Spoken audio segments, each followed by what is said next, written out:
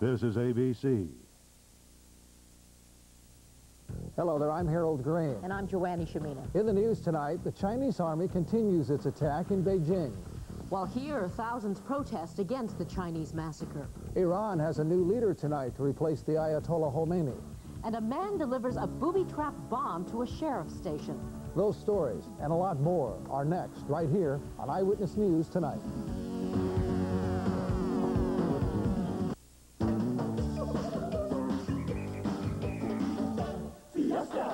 Introducing the Summer Fiesta at Taco Bell. Fiesta with our 59 cent value menu. Fiesta! Tacos, tostadas, burritos, and more. Just 59 cents. The Summer Fiesta at Taco Bell, where the best food meets an even better price. Fiesta!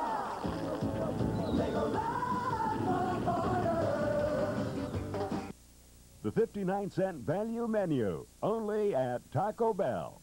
When Rick Carpenter walked into Security Pacific with a question about his checking account and bags under his eyes, he reaffirmed a basic truth. Banking worries don't keep banking hours. That's why Security Pacific has a 24-hour customer service line that can do more than answer questions about all your accounts. It can transfer funds and even stop payments on checks. So anytime, day or night, just call. We'll be waiting up for you. Security Pacific. We want to be your bank for life. Ah, the sounds of the morning. Every one of them is a painful reminder. Oh, me! But sooner or later, you've got to get up. So Channel 7's created something you like waking up to, a morning news show, weekdays at 6.30. Eyewitness News this morning with Gene Gleason. Dana James. And Dallas Raines. We'll take the edge off your rude awakening. Wake up! Even the cute ones. You're watching KABC TV, Los Angeles. Moving to the rhythm of the city, to the beat of the streets. News, weather, and sports for a city that plays hard, works hard, and moves fast. Harold Greene, Joanna Shamina, Fred Anderson, and Jim Hill. And now, Eyewitness News Tonight. Good evening. At 11 o'clock on this Sunday night, Chinese troops are still fighting to gain control of Beijing at this hour, and the government vows to punish anyone who stands in their way. It's now Monday night in the Chinese capital, and the political unrest is far from over. These are the very latest pictures from Beijing. Tens of thousands of troops there are following orders to punish anyone who violates martial law. Just hours ago, Chinese soldiers opened fire on thousands of angry citizens near Tiananmen Square. In the past two days, the square has been turned into a bloodbath.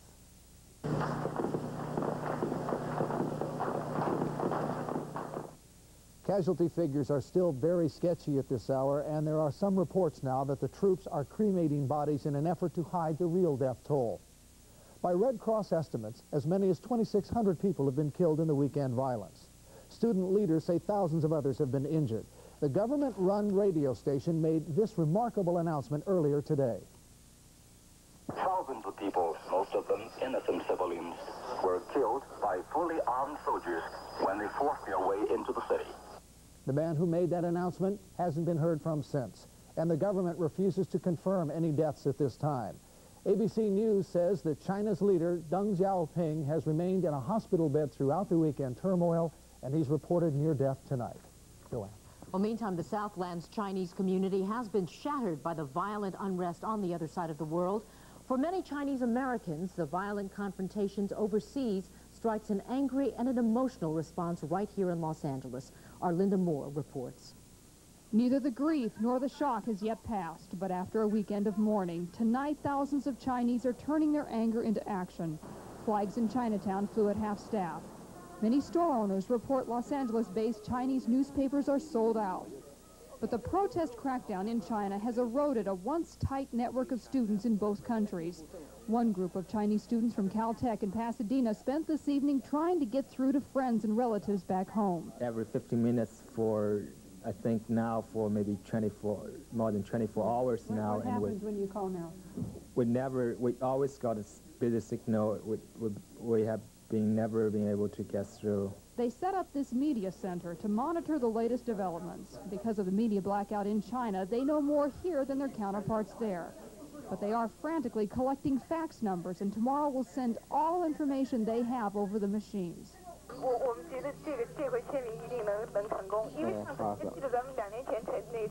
Yeah. Also tonight, they met with Chinese students from other Southern California universities to plan more rallies. But for now, their mission is to reopen the lines of communication into Beijing University. So much of interest from our correspondents in China and our analysts. Gone are the days when governments can keep secrets from their people.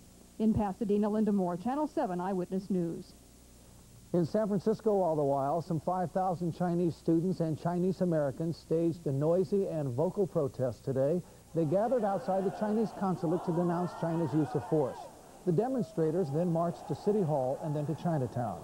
San Francisco has the nation's largest concentration of Chinese Americans. An estimated 80,000 Chinese immigrants live in the Bay Area. The angry protesters are demanding an immediate end to the bloodshed and the violence.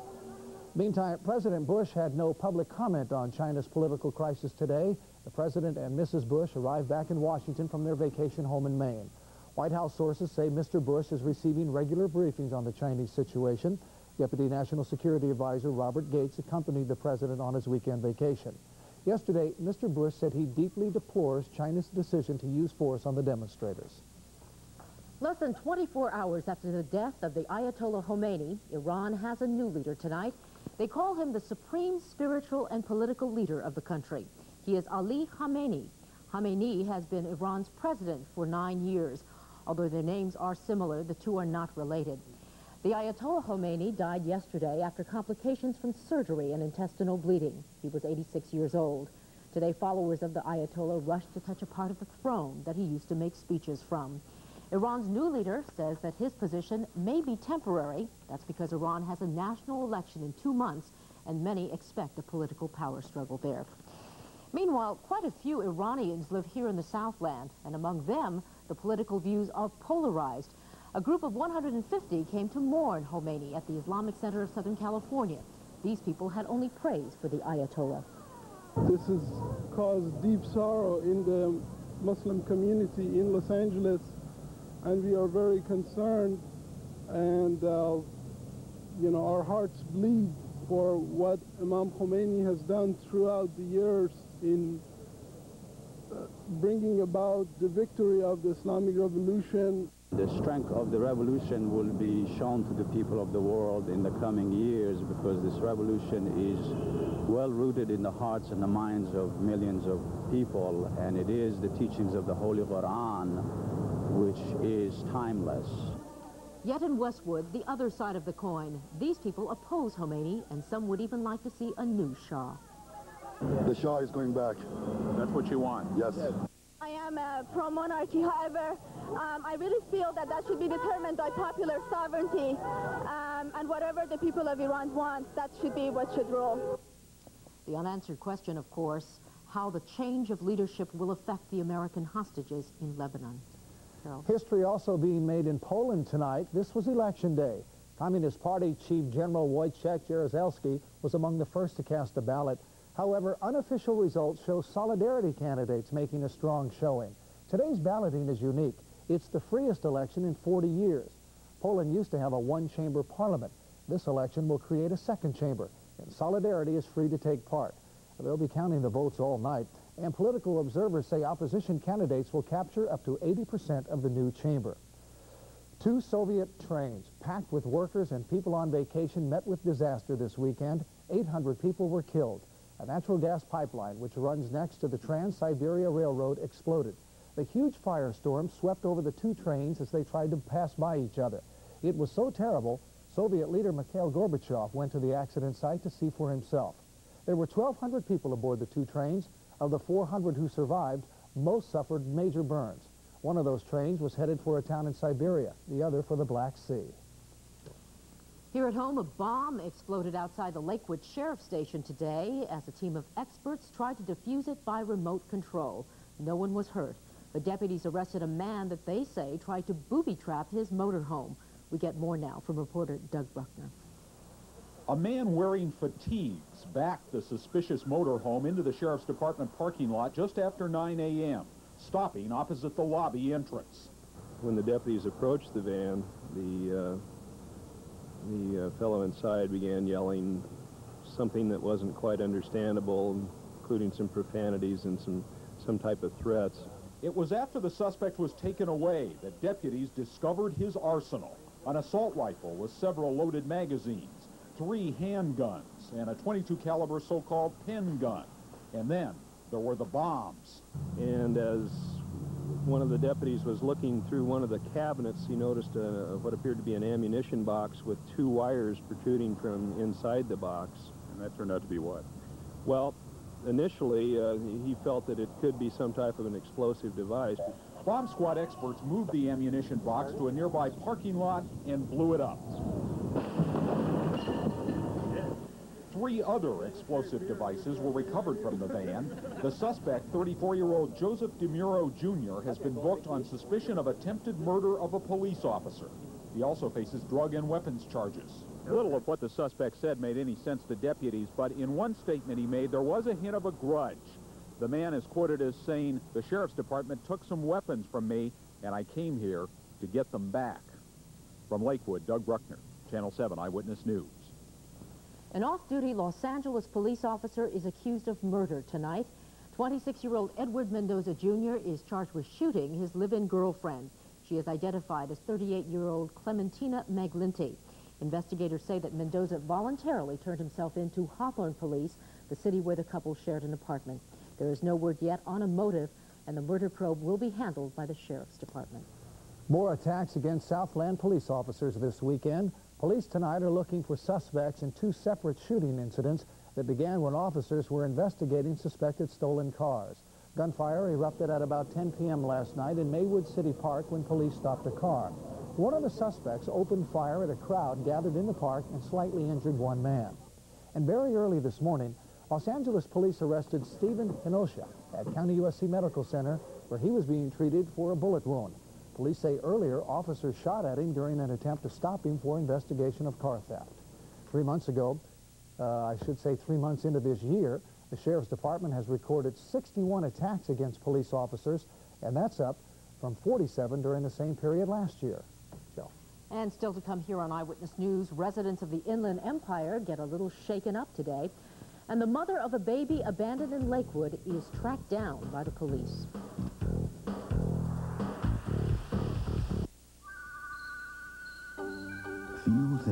Life do what they're supposed to do day after day, year after year.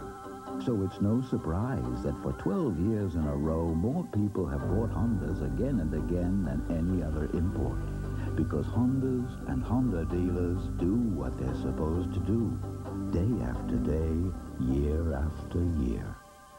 Your Southern California Honda dealers, as dependable as the cars they sell. This is supposed to be a small business, but I got news for you. I got 12 guys working for me, and they depend on me, not just for their jobs, but also for their health coverage. And nowadays, you have to offer them HMOs, PPOs. You don't know what to do. You ever shop for health insurance? It can make you crazy. When you need answers, call on Blue Cross. If this is a small business, this should be a lot smaller job. We care about what's good for you. We are gathered here today. You'd expect this Panasonic OmniMovie camcorder to shoot in daylight. If anyone believes this couple should not be married, let him speak now. You might expect this Panasonic camcorder to shoot in room light. Let him speak now. But what you don't expect is that it can shoot by the light of one candle, and it's VHS. Let him speak now. Camcorders that do the unexpected make Panasonic just slightly ahead of our time. Meet real-life princes and princesses on the next Oprah Winfrey Show. There's lots to talk about Monday at 3, only on 7. The search for the mother of an abandoned baby found yesterday in Lakewood ended tonight with her arrest. 20-year-old Anna Kwan of Downey was charged with child endangerment after allegedly leaving this infant in some bushes near a drive-in movie theater. The baby girl, who is about one or two days old, is in good condition tonight at Lakewood Doctors Hospital. Yesterday afternoon, sheriff's deputies say that a woman passing by the drive-in heard a baby crying. She found the newborn wrapped in a sheet and a plastic shopping bag. The woman flagged down an officer who in turn called a passing ambulance and the baby was rushed to the hospital. Detectives say that they believe Kwan was responsible for dumping the baby based on evidence in their investigation. Tonight, Kwan is being held on $3,000 bail, and officials are still not sure why the child was abandoned. Joanne, an earthquake rolled through a remote area, the Mojave Desert in San Bernardino County today, but there were no reports of injuries or damage. Today's quake comes after two small but unrelated shakers rattled San Bernardino County residents on Thursday. Today's quake hit at 2.30 this afternoon, and they tell us it measured 4.5 on the Richter scale. It was centered 11 miles northeast of Lucerne Valley and about 23 miles southeast of Barstow. Some angry Southland residents are urging their elected officials to abandon plans to use a rustic canyon as a garbage dump. More than 100 people voiced their concerns at a rally today in the Santa Monica Mountains. The group wants the city to drop plans to build two dump sites at the south end of Reseda Boulevard. They want to keep the rustic area as a wildlife and wilderness preserve. Southland, of course, is running out of space in existing dump sites as local officials try to find ways to solve the increasing trash crunch. Some bikers revved up their engines for a worthy cause today. It was all part of an early Christmas rally at Sunland Park. Members of an organization called Abate collected toys and clothes for homeless children. The motorcycle group is sending the donated goods to the Fred Jordan Mission in downtown Los Angeles. The bikers also raised more than $2,500 for the homeless today. Now, this is the organization's first fundraiser for the mission, and they plan on repeating their charitable venture next year. Well, somebody in San Mateo County is feeling pretty good tonight, I am sure. That is because a player who purchased a Lotto 649 ticket in that Northern California county picked all six winning lottery numbers in the latest Lotto game. The lucky ticket is worth an estimated $22 million, and in last night's mm-hmm. game, it was winner take all. Wouldn't you like to be in his shoes? I'd like to get one or two numbers once in a while myself. Good grief. Up next right here, Fred Anderson with the Southland forecast. He'll answer the musical question, will it be sunshine or more clouds and sprinkles? Fred will tell us all about it after this. You know, it's one thing to love a luxury car the day you buy it. But later? Yet just last year, more Mercedes-Benz owners said they would buy another than the owners of any other make sold in America. That kind of loyalty says a lot about the way it feels to own a Mercedes and the care you will get from your authorized Mercedes-Benz dealer. Take a look at one now.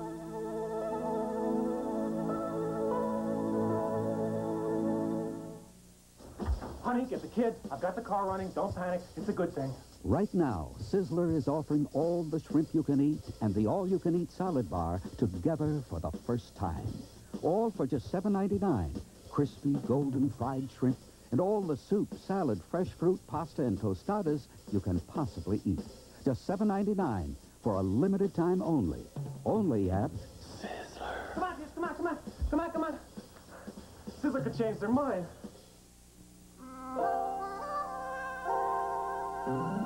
When you were a kid, you wanted your bike to sound like a car. Nowadays, you'd like your car to be as quiet as that old bike. So use a gasoline that can do a better job quieting knocks, one that's two octane higher than regular unleaded. Unocal's 89 octane. Hey, hey, Jimmy. It's a great game last night. Gee, thanks.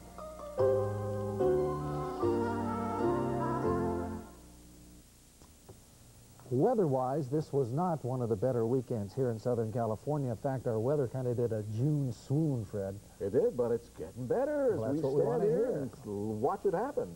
In fact, let's take a look right now and see what we have outside. Our skies right now are cloudy, but it's not going to be that way for long. Temperature 62 degrees, humidity 67%, wind from the west-southwest at 6 miles an hour. The barometer's at 29.97. Our high today was uh, 68 degrees, normal 76, low 60 degrees. Sunrise tomorrow morning will be at 5.42 a.m., sunset at 8.01 p.m. Now, we're going to take a look and see just what those high temperatures were that we had throughout the uh, area today. Palm Springs uh, was uh, close, it was 96, but tomorrow it's going to be 98 degrees. Woodland Hills will have a high of only 76 tomorrow. Riverside 76. Glendale will be 73 degrees. Santa Ana 71. Westwood 69. Santa Monica will be the coolest place in the Los Angeles area tomorrow at 65 degrees. But the good news is the air quality. Let's take a look and see what those air quality numbers are going to be. Throughout Los Angeles, and the San Fernando Valley, the San Gabriel Valley, Pomona Valley, all of the valleys, and Orange County inland, it's going to be good air quality as well as along the coast. Moderate air quality in the high desert and the low desert. And unfortunately, it's going to be on the unhealthful side in Riverside and San Bernardino, so take it easy out there. Let's take a look at our map and see what's happening across the rest of the United States today. Oh, they've had severe storm watches tonight through the Midwest into the south. They had four inches of rain in Dodge City, Kansas. Over here in uh, uh, Elizabeth City, New Jersey, there were uh, tornadoes touching down, as well as in Kitty Hawk, North Carolina. Meanwhile, looking at our forecast map for tomorrow, we're going to see that there's some uh, rain coming down. There's a, a, storm over San Francisco right now, and that's going to push down into the southeast direction, bring some rain into the Mojave Desert, the northern Mojave Desert, and into the Tehachapis. Let's see what's happening for us right here in Los Angeles tonight. Mostly cloudy, drizzly, weather tonight with some light winds. Tomorrow morning, look for some cloudy, drizzly weather as you wake up, but it should turn partly cloudy by the afternoon. If you're going to go to the uh, beaches tomorrow, it's going to be cloudy and drizzly in the morning, but it will also be uh, clearing up there by the afternoon. Same with the mountains. They're going to be uh, mostly clear throughout most of the day, as they will be in the desert. Tomorrow, the high desert and the, de the low desert will be mostly clear, except for the, watch out for some uh, thunderstorms in the northern Mojave Desert tomorrow as that storm moves down there. Meanwhile, temperatures are going to be on the cool side, but as we look towards our five-day forecast, we are going to see that things are going to warm up a little bit as they get towards Friday, and that it's going to be a mostly sunny weather throughout the week. So we didn't make the sunshine much this weekend, but it's going to get nicer as the week goes on, and uh, who knows, maybe next weekend. Very good. Thanks Very so good. much, Fred. You have a good week, huh? Up next here, our Gary Franklin answers the complaints about his review of the new Indiana Jones movie. We are looking forward to that. And the Tony Awards are handed out tonight in New York City. Isuzu would like to make it real easy for you to pick up a truck. A truck with better mileage than Toyota, the largest standard payload in its class, a five-speed transmission, and the lowest import sticker price in America. How are we going to make it easy to pick up a truck? With up to $1,000 in factory incentives. Now you can save up to $1,000 on the pickup during Isuzu's 75th birthday blowout. Can a person with a charge account at the bakery be impressed by nice and light non-fat yogurt? Cancel my donuts! Rip up my charge! Can a person who throw a dinner party just to eat baked potatoes be satisfied by nice and light, light sour cream? You'll stay for the weekend! Nice and light non-fat yogurt and light sour cream from Knudsen. Could a person find them so delicious she'd stay inspired all day? We'll climb the highest mountain together! Mark and Brian remember themselves. Remember how we handled the babysitter? May we have some water, please?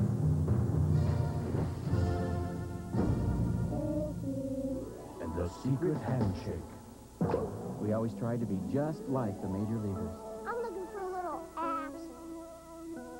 I never saw it before in my life. Mark and Brian, mornings. KLOS rocking you for 20 years. This is not summer camp. This is not an army boot camp. How many other times you been in jail? This is the next step in the war on drugs. These dealers and users are up at dawn, hopefully changing their lives. I think it was, it was a, a God-given gift for me to be here. You know, taking off the street at that time, I, I probably would be lying six feet under somewhere. Winning the war on drugs with discipline. Starting Monday on Eyewitness News at 5, only on 7. For people who love the stage, this was the big night of the year. The Tony Awards uh, played out tonight, and the Heidi Chronicles was the best play of the year. Now, that's a play, uh, comedy, if you will, about a woman's 20-year journey to self-fulfillment. However, the big winner of the night was Jerome Robbins' Broadway. It captured six Tonys, including Best Musical. The play is a collection of dazzling musical numbers from many of Robbins' other hits, including West Side Story, Fiddler on the Roof, and Gypsy.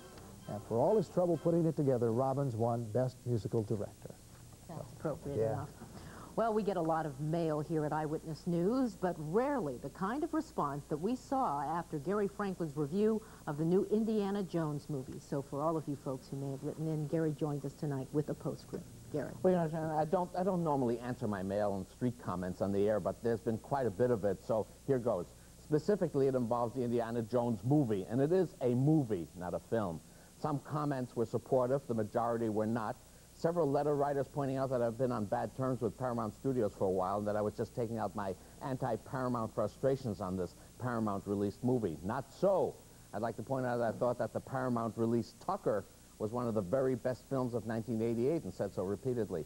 So despite my disinclination to further hype this overhyped flick, let's talk about this latest and hopefully last version of these childish efforts presumably designed for adult entertainment. On the positive side, the film's one saving grace is Sean Connery, brought in to give the movie some class, which he does.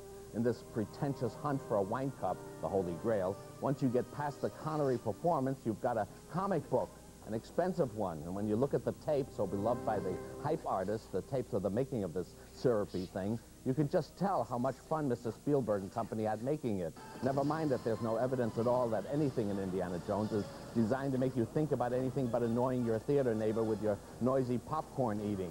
Harrison Ford's performance, and he's a terrific actor, but he's a chunk of inert wood in this. The female lead, whom I wouldn't even embarrass by mentioning her name, is awful.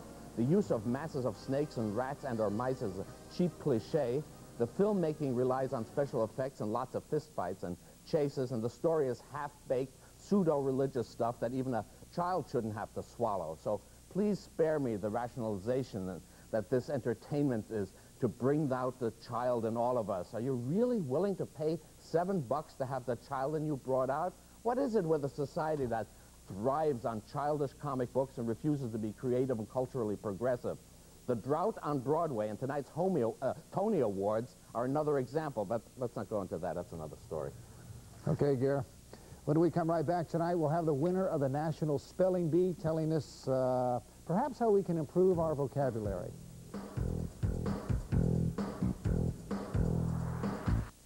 Finding another vehicle that equals the Mazda MPV could be an impossible challenge. It's the best-selling import in its class in America. Its bumper-to-bumper warranty has no deductible and is unequaled by the competition. No wonder Car and Driver called MPV the new best-in-class with the emphasis on class. But don't worry, it can be equaled. We built more than one. Take the challenge. See why Mazda MPV is already the number one selling import minivan. Carl's job is driving 200 miles an hour. The coach fights big city traffic to get for his. Hey, I gotta run my air conditioner. I've gotta run wide open. So we use Peak. Peak beats the heat. Boilover protection to 263 degrees. Peak beats the heat. Right. The man's cold, the man's quick. Peak antifreeze and summer coolant available at Chief Auto Parts. It's a wonderful feeling to be manager of a station that has the Ken and Bob Company as a turn on. It's a kick. It's wonderful. And I've had a dream for 10 years to try to do the same kind of thing in the afternoon. KABC's Wink and Bill Show. News and information and a whole lot more. The Wink and Bill Show with 13 people come together to try to entertain, to inform, to put a, hopefully, hopefully, put a smile on your face. All these people coming together, including Peter Jennings and Paul Harvey, a roster of talent in the afternoon that's going to knock this town, knock them on their fannies. Carl's Jr. introduces the guacamole chicken sandwich. A juicy breast of charbroiled chicken topped with rich, creamy guacamole. It's only at Carl's Jr. So where do you want to eat? Scott Isaacs probably won't mind going back to school tomorrow. That's because the Colorado teenager is the undisputed spelling bee champion of the United States. Earlier this week, Scott won the prestigious National Spelling Bee in Washington by correctly spelling spoliator, which means plunderer. Today, the 14-year-old champ flew home where he was met by his happy family and friends. And by the way, you might ask, what's the secret to all his success? Well, Scott says that he studies 104 words a day. Wow, that's something? I always got stumped. They always threw chrysanthemum at me in the first round. I never made it. Never got out of the preliminaries. yeah, that was my problem. I could hardly pronounce the darn thing. Coming right up uh, after our broadcast right here, Jim Hill has all of today's Dodgers and Angels action on Eyewitness Sports Scene. Jim talks with the Lakers as they leave for Detroit and that big showdown in the NBA Finals. Also, Clipper star Benoit Benjamin joins Jim right here in our studios. And we'll see some figure skating stars on the comeback trail, all coming up next right here on Jim Hill Sports Scene. But meantime, we're out of time. That's mm -hmm. going to wrap up this report of Eyewitness News on this Sunday night. Thanks for joining us, staying up late with us. Have yourselves a good week ahead all, and good night.